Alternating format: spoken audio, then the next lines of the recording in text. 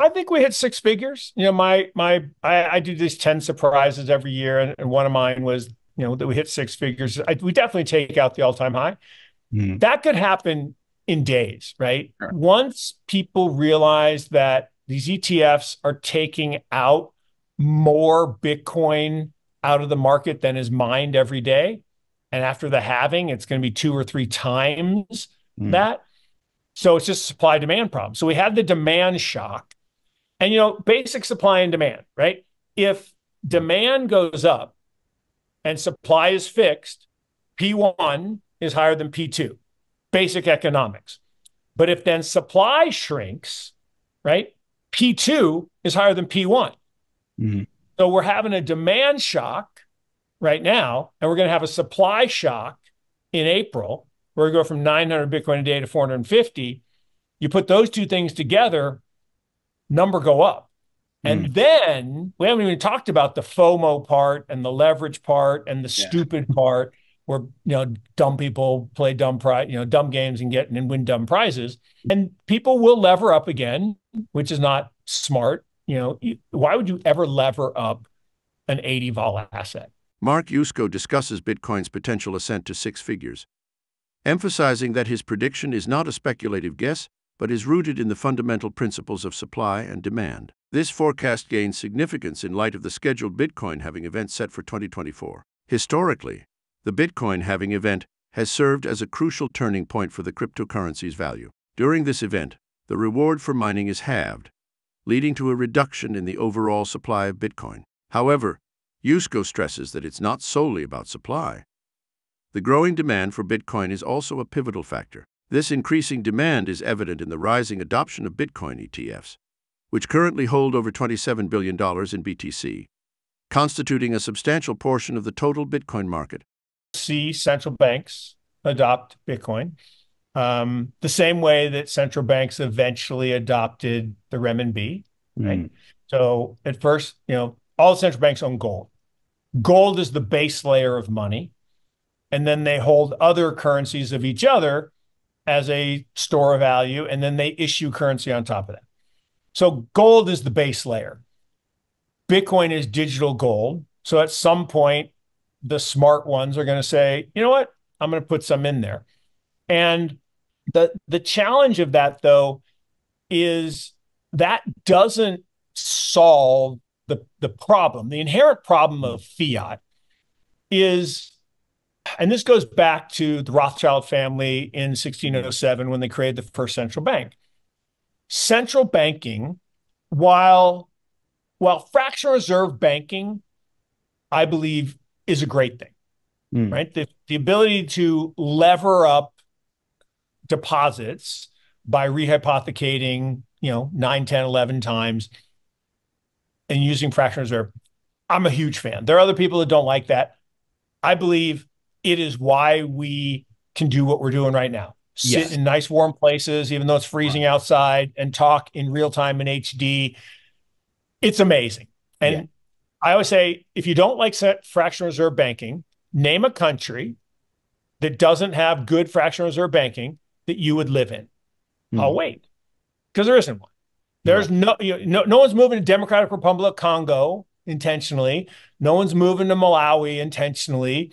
And I, am not criticizing it. It's just, it, given a choice, you're yeah. going to go where fractional or banking works.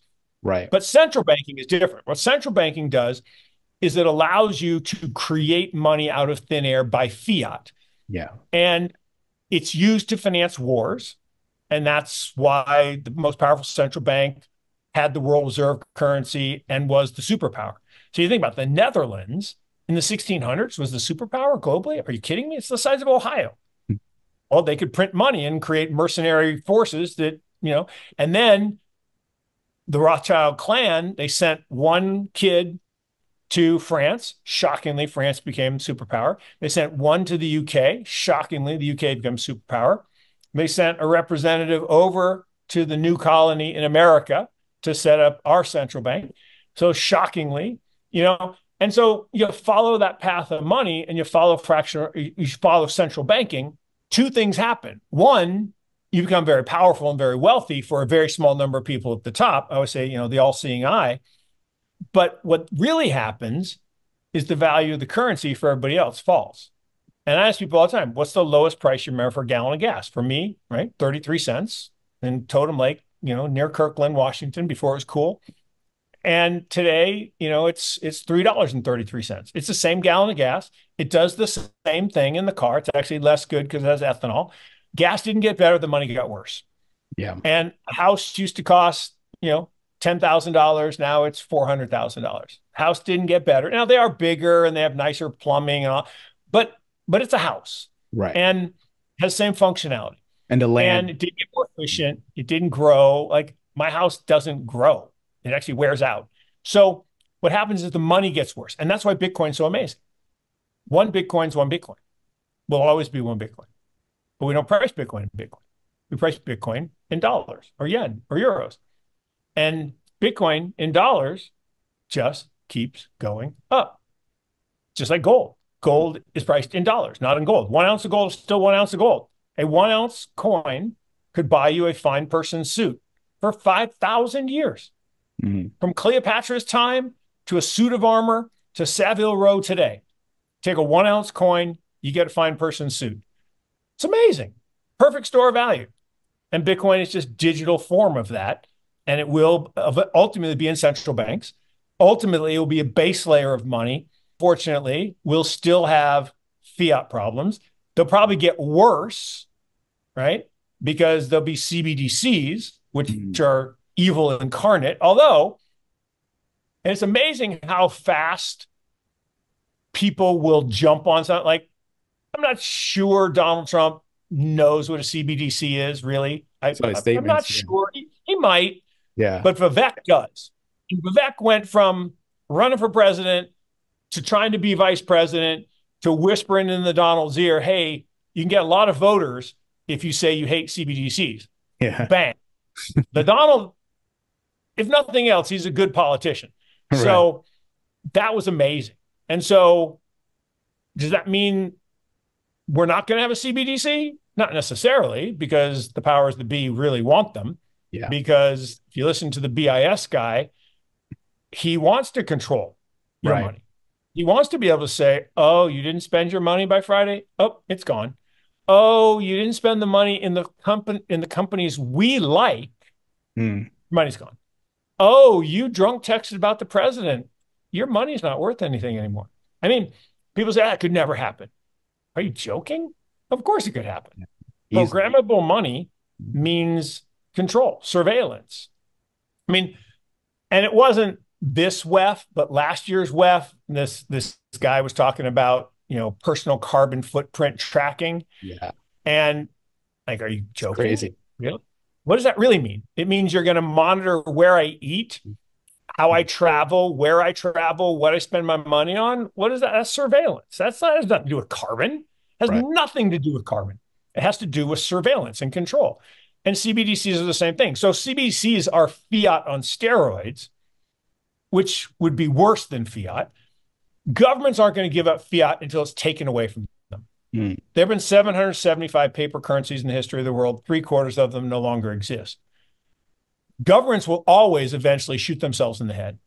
So, Mark, do you, do you think it's like another hundred years where there's Bitcoin, further iteration on Bitcoin, if you want to call it that, that we are able to to move away? Uh, where I don't know, the web you know, is. I, I don't know. It's it's it's a great problem to think about and mm. hypothesize. The reality is the fight's going to be a lot harder than we think. It's funny, you know, I, I've been talking about, you know, 09 to 15 was first they ignore you. Okay. Then 16 to 21, then they laugh at you. And then 22 to 27, then they fight you. So we're right in the then they fight you. And someone said, "Oh, well, we we got the ETF approved. Now we've won." Like, "Oh no, no, no, no, no, no, no. Now they're going to fight harder. Yeah. Right. Now they're going to try to ban self custody. Yeah. Now they're going to try, you know, Max and Stacy believe they're going to try to confiscate the ETF, Bitcoin. Like, no, they won't. Well, why not? Because that's like a 51% attack. There'll never be a 51% attack on Bitcoin. Well, why not? Because the moment you do a 51% attack, the value goes to zero. So all that money you spent to do a 51% attack, which is pretty much impossible without a quantum computer, so not going to happen anytime soon. But even if you did it, the value would go to zero and you'd have nothing left. So the same thing with confiscation.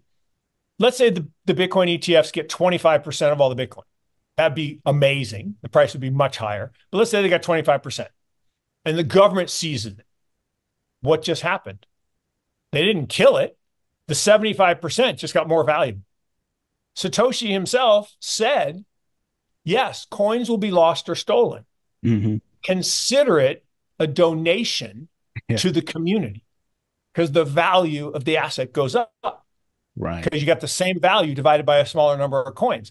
So unless they can get all of them, 100%, not 99, because as long as there's one Bitcoin, it can have a high price and it can be Satoshiized. So they can't seize it. Yes, they could, in their minds, oh, we'll we'll steal a bunch of it and then it won't be as effective. No, you idiots. It's infinitely divisible because right. it's not changeable. One Bitcoin is one Bitcoin. The idiot part is the fiat can go to infinity, literally, which means everything can go to zero in Bitcoin terms. And there's a lot of discussion now. Preston Pysh did a good one on this, and and Gary Cardone's done it, and you know, it's it's real, right? I mean, my house priced in Bitcoin just keeps getting cheaper, not more expensive.